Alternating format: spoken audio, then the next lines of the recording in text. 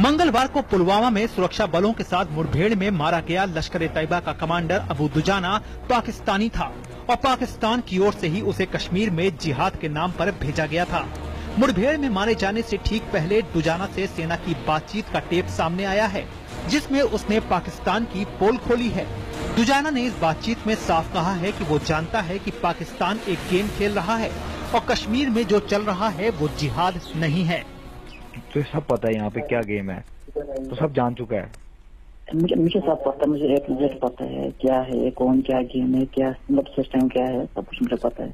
तो फिर देख तुझे तो तो पता है कि ये ये जिहाद नहीं है। तुम निक, लोग निकले जिहाद के लिए पर ये जिहाद नहीं है ना यार? चलो यार क्या करेंगे?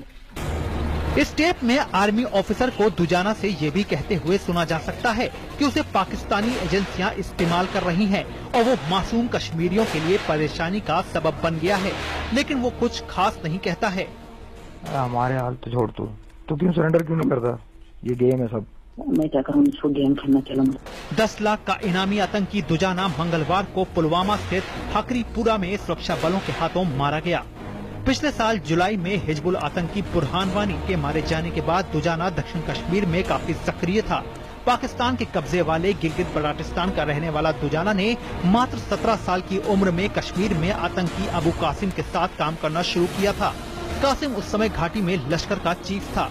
कासिम के 2015 में मारे जाने के बाद कश्मीर में लश्कर की ज़िम्मेदारी दुजाना को मिली थी।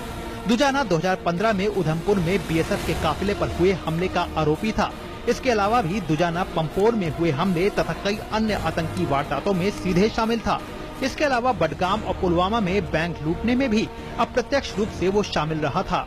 दुजाना का मारा जाना सुरक्षा बलों की बड़ी कामयाबी है तो दुजाना का खुलासा पाकिस्तान को बेनकाब करने के लिए काफ़ी है।